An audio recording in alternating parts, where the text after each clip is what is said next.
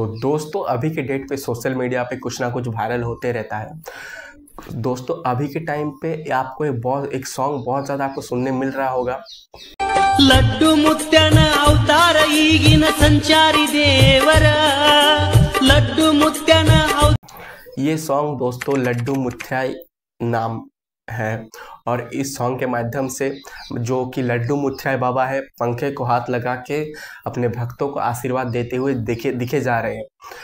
तो दोस्तों, मैं बता दूँ, ये लड्डू मुठिया बाबा असली नहीं है।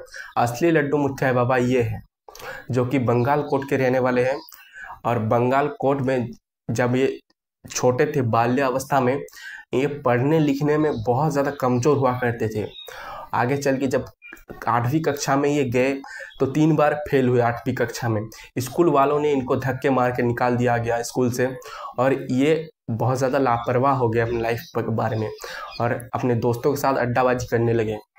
और इनके माता पिता को डर हुआ कि बच्चा अगर ऐसे ही रहेगा तो बिगड़ सकता है, सिगरेट बीड़ी के नशे में आ सकता है।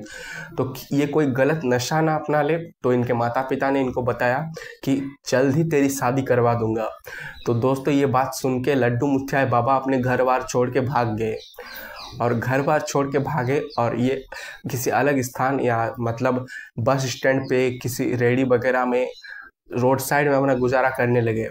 और जब भूख लगती थी तो ये फल वालों के दुकान के बाहर खड़े रहते थे और इनको कोई फल वगैरह खिला दिया करता था। दुकान के बकरे में खड़ा रहते थे, कचौरी, सिंगड़ा, ये सब खिला के इनका गुजारा हो रहा था। और धीरे धीरे दोस्तों, फ्रूट के मार्केटिंग में जो है, उनके बीच में एक बात बहुत फैलने लगा कि इस बच्चे को जो भी फल देता है खाने के लिए, उनका ग्राहकी सेलिंग बहुत अच्छा होता है। और ये बात पूरे मार्केट में फैल गया। तो दोस्तों, ये बात जब फैल गया तो सब लोग इनको पूजने लगे भगवान की तरह। और धीरे धीरे इन, ये लोगों के बीच में बहुत ज़्यादा फ़ेमस हो गए और लोग इनको पूजने लगे और धीरे धीरे इनका मंदिर भी बनवा दिया, बना बना।